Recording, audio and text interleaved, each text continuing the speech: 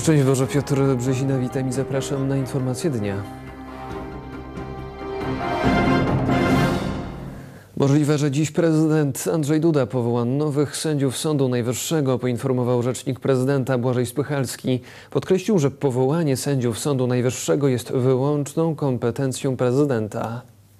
Dziennik Gazeta Prawna poinformowała, że najprawdopodobniej dzisiaj prezydent nominuje kolejnych sędziów Sądu Najwyższego. Informację dziennik miał otrzymać od jednego z uczestników postępowania, który ma zostać powołany do Izby Kontroli Nadzwyczajnej Spraw Publicznych Sądu Najwyższego. Dziennik wskazał zarazem, że jeśli tak się stanie, będzie to oznaczało, że postanowienie Naczelnego Sądu Administracyjnego o zabezpieczeniu konkursu do Sądu Najwyższego nie odniosło skutku. O sprawę został zapytany rzecznik prezydenta. Błażej Spychalski powiedział, że nie zaprzecza i jest to możliwe, że Andrzej Duda powoła nowych sędziów Sądu Najwyższego na podstawie trzech uchwał Krajowej Rady Sądownictwa, które trafiły do Kancelarii Prezydenta w poniedziałek. Zespół prasowy Sądu Najwyższego poinformował, że do sądu przysłano zaproszenie na uroczystość mianowania sędziów na dzisiaj na godzinę 11. Takie zaproszenie miał otrzymać Dariusz Zawistowski, który zastępuje pierwszego prezesa Sądu Najwyższego. Na pytanie, jak ewentualne powołanie sędziów Sądu Najwyższego przez prezydenta koresponduje z postanowieniami Naczelnego Sądu Administracyjnego o zabezpieczeniu postępowań dotyczących nominacji nowych sędziów Sądu Najwyższego, Spychalski odpowiedział, że powoływanie sędziów jest wyłączną kompetencją prezydenta. Jak podały media, KRS ma już wszystkie zgłoszenia kandydatów na sędziów Sądu Najwyższego. Kandydatów jest 25 na 11 miejsc. Media piszą, że 1 trzecia to osoby, które nie wygrały batalii o wakat w pierwszym konkursie. W wyborach może wystartować, to pewne, ale czy Hanna Zdanowska, jeżeli wygra, będzie mogła dalej być prezydentem Łodzi? To już budzi pewne wątpliwości, emocje oraz spory prawne. Hanna Zdanowska od 2010 roku rządzi Łodzią. W tych wyborach jest kandydatką Koalicji Obywatelskiej. Kandydatką z prawomocnym wyrokiem sądowym, przypomina prawnik Stanisław Zapotoczny. Została już w tej chwili skazana e, e, na karę, ale karę grzywny e, za złożenie fałszywych oświadczeń w związku czy w zamiarze uzyskania kredytu bankowego e, przez jej konkubenta. Sąd skazał Hannę Zdanowską na 20 tysięcy złotych grzywny. Kodeks wyborczy mówi, że osoba skazana na grzywnę może kandydować w wyborach na wójta, burmistrza i prezydenta, ale czy taka osoba, gdyby była wybrana, będzie mogła piastować urząd? I tu już są poważne wątpliwości, przypomina szef Komitetu Stałego Rady Ministrów Jacek Sasin. O tym decyduje już inna ustawa, e, ustawa o pracownikach samorządowych, która jednocześnie, jednoznacznie wskazuje, że osoba wskazana prawomocnym wyrokiem e, z e, oskarżenia ściganym za przestępstwo ścigane z oskarżenia publicznego nie może pełnić e, funkcji w samorządzie. Czy zatem głosy oddane na Zdanowską będą zmarnowane? Czy nawet jeśli wygra, to i tak nie będzie prezydentem, gdyż wojewoda może wygasić jej mandat jako osobie z prawomocnym wyrokiem? Pytania te zapowiadają jedno. Czeka nas gigantyczny spór o to, kto będzie włodarzem miasta Łodzi. Nie minister Sasin będzie decydował w tej sprawie, na szczęście, jeżeli chodzi o kwestie dotyczące objęcia e, urzędu. Ja wierzę w to, że wyborcy e, będą mieli zaufanie, mają zaufanie, wszystko to, wszystkie sondaże to pokazują, pokazuje to sytuacja w Łodzi, że wyborcy w Łodzi mają zaufanie dla pani prezydent. Stwierdził kandydat na prezydenta Warszawy z ramienia Platformy Obywatelskiej Rafał Trzaskowski. Państwowa Komisja Wyborcza potwierdza sprzeczność w obowiązującym prawie. PKW oświadczyła, że rozbieżności między kodeksem wyborczym a ustawą o pracownikach samorządowych powinny zostać szybko usunięte.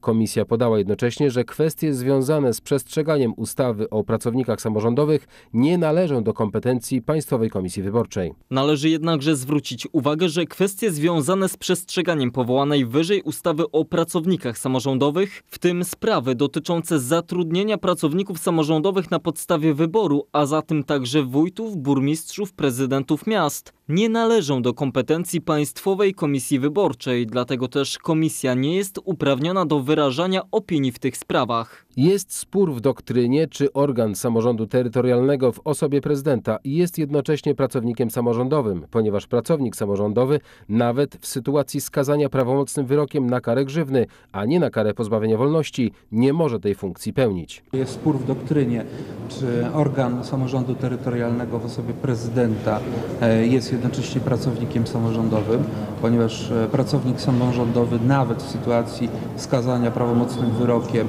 e, na karę grzywny, a nie na karę pozbawienia wolności, e, nie może tej funkcji pełnić. I jest pytanie, czy prezydent miasta jest pracownikiem samorządowym. Ja jestem zdania, że jest organem administracji samorządowej i może podejmować decyzje zgodnie z ustawą o e, samorządzie gminnym. Ocenia wiceprzewodniczący klubu Kukiz 15 Tomasz Rzymkowski. Głównymi rywalami Hanny Zdanowskiej w walce o fotel prezydenta Łodzi są Waldemar Buda, rekomendowany przez Prawo i Sprawiedliwość i Rafał Górski, zgłoszony przez Kukiz 15. Blisko 36 miliardów złotych do 2028 roku rząd chce przeznaczyć dla samorządów na budowę i modernizację dróg. Przewiduje to projekt ustawy o Funduszu Dróg Samorządowych. Projekt ustawy rozpatrywany był na wspólnym posiedzeniu Komisji Infrastruktury oraz Samorządu Terytorialnego i Polityki Regionalnej. Fundusz Dróg Samorządowych ma być największym funduszem remontowym dróg lokalnych, powiatowych i gminnych w ostatnich 30 latach. Z funduszu będą także finansowane budowy nowych mostów. Rząd na ten cel chce przeznaczyć kwotę blisko 36 miliardów złotych do 2028 roku. W przyszłym roku ma być to ponad 6 miliardów złotych. To bardzo dobry projekt, na który czekają pierwszej kolejności mieszkańcy, bo przeważnie mówi się, że władze gminne albo powiatowe to ludzie najwięcej chodzą po drogach, po chodnikach czy jeżdżą po, po drogach i dla nich jest ten fundusz Dlatego też Prawo i Sprawiedliwość chce odrębnego funduszu, który to ma za zadanie zaspokoić potrzeby samorządów, podkreśla poseł Prawa i Sprawiedliwości Bogdan Żońca. Będziemy mogli sfinansować inwestycje drogowe w gminach i powiatach, tam gdzie one, te drogi są najgorsze, wymagają naprawy albo wymagają po prostu remontu. Rząd chce, by biedniejsze samorządy otrzymały nawet 80% dotacji na budowę dróg, a nie jak dotąd 50%. zwiększenie udziału budżetu państwa do 80% byłoby naprawdę e, bardzo dobre, pozytywnie odebrane przez wójtów i burmistrzów, ponieważ e, to odciążyłoby nas budżet, ale przede wszystkim przyspieszyłoby budowę dróg. Można byłoby ich wybudować więcej.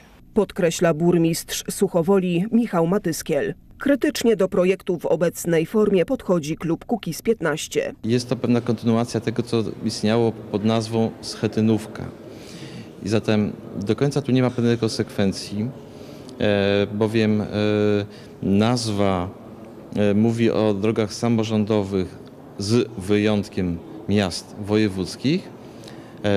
Z drugiej strony jest kontynuacją pewnego projektu. Mówi poseł Andrzej Maciejewski. I chociaż rozwój sieci dróg ma być impulsem dla gospodarki, to pomysł tworzenia funduszu nie do końca podoba się nowoczesnej. Będziemy składać do niego poprawki zmierzające do zmiany źródeł finansowania na dochody z akcyzy, które płacą kierowcy i które powinny w części być przekazywane procentowo na drogi. Będziemy zmieniać e, procedury dotyczące podejmowania decyzji, żeby one były bardziej transparentne. Podkreśla poseł nowoczesnej Mirosław Suchoń. Tymczasem rząd zgodnie z zapowiedziami już realizuje swoje obietnice dotyczące budowy dróg. Byliśmy w małym, małej gminie, jednej z najmniejszych w Polsce, gminie Podedwórze. I pięciokilometrowy, ponad pięciokilometrowy odcinek, o którym mówiłem w kwietniu na konwencji Prawa i Sprawiedliwości, że zostanie całkowicie odremontowany. Został odremontowany, bo dotrzymaliśmy słowa, tak jak dotrzymujemy w rządzie, dotrzymaliśmy na poziomie gmin i powiatów. Mówił podczas konwencji Prawa i Sprawiedliwości w Lublinie premier Mateusz Morawiecki. Pieniądze gromadzone w Funduszu Dróg Samorządowych mają pochodzić głównie z budżetu państwa oraz Narodowego Funduszu Ochrony Środowiska i Gospodarki Wodnej. Prezydent Andrzej Duda zakończył dwudniową wizytę w Szwajcarii. Wieczorem prezydent Polski wygłosił wykład na Uniwersytecie w Curychu. Wystąpienie pod tytułem Przyszłość Europy – Fundamenty jedności państw Europy dotyczyło wizji integracji europejskiej. Historia uczy nas, Europejczyków, że koncert mocarstw zawsze prowadzi do konfliktów i rozlewu krwi. Idea integracji europejskiej miała być antidotum na to, mówił prezydent Andrzej Duda podczas wykładu na Uniwersytecie w Curychu. Dodał, że żelazna kurtyna oddzieliła Europę Środkowo-Wschodnią od Zachodu, tak samo jak Zachód od Europy Środkowo-Wschodniej i stworzyła nienaturalne pęknięcie w europejskim świecie. That Poland found herself on the eastern side of the Iron Curtain Fakt, że Polska znalazła się po wschodniej stronie żelaznej kurtyny było wynikiem umowy z 1945 roku podczas konferencji jałtańskiej między Stalinem, Rooseveltem a Churchillem. Nie była to decyzja Polski, została ona podjęta za naszymi plecami i mówiąc szczerze, po prostu nas sprzedali. And let me be frank.